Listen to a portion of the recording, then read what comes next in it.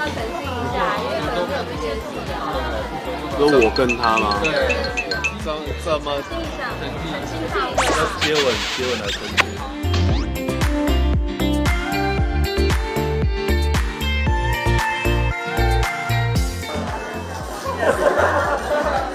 爱心在鼻子，爱心在鼻子，给左手边刚才拍到爱心，来对，左手边左手边，七五七来，这现在七七了，七。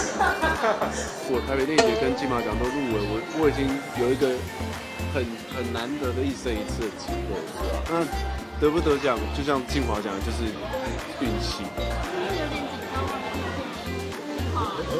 不是，有他有说到，他有说谢谢所有的演员。对，没有没有没有没有，静华不是不是，我跟你们我跟你们说一件事情，我对自己太有自信，我以为我两张都会上去讲话，所以我我写了两版两版感言，那张纸现在在金马那边。第一段新演员的时候，我是特别讲了讲了一个一个一个呃一个一个话给曾静华的。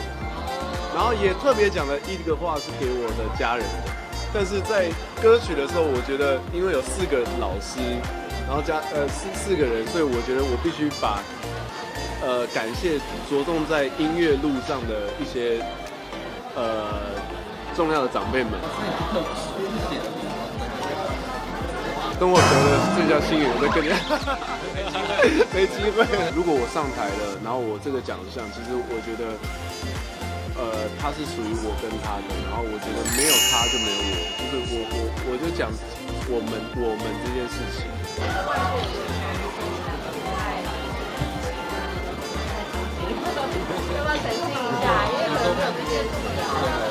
说我跟他吗？对，怎怎么澄清一下，澄清好对。接吻接吻来澄清？要是也可以。呃，就安慰他一下。我觉得我他安慰他好了。他已经安慰我了。静华他的他的安他的安慰就是呃非常简单，但是让你觉得很真很真诚的进到你心我我一共估，我一共估的时候，他是第一个就过来拍我的这样，然后说没事啊。嗯然后我也在就是在呃少勋跟王静在台上讲话的时候，我就抓着静华说，我终于知道你去年的感觉了。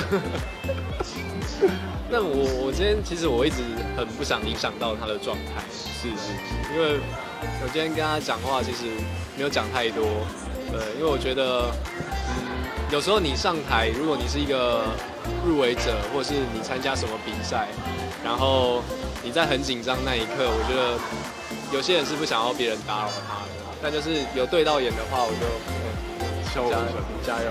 我觉得外界的大家想太多了，就是他只是只是因为宣传期各大家都有各各个的事情要忙，他要去忙他的事情的时候，阿汉为什么不能帮 Birdy 宣传？那 Birdy 呃阿汉感冒的时候，Birdy 也不是出来帮阿汉宣传，所以就是大家没关系，让大家去讲，但是我们的感情我们自己知道的。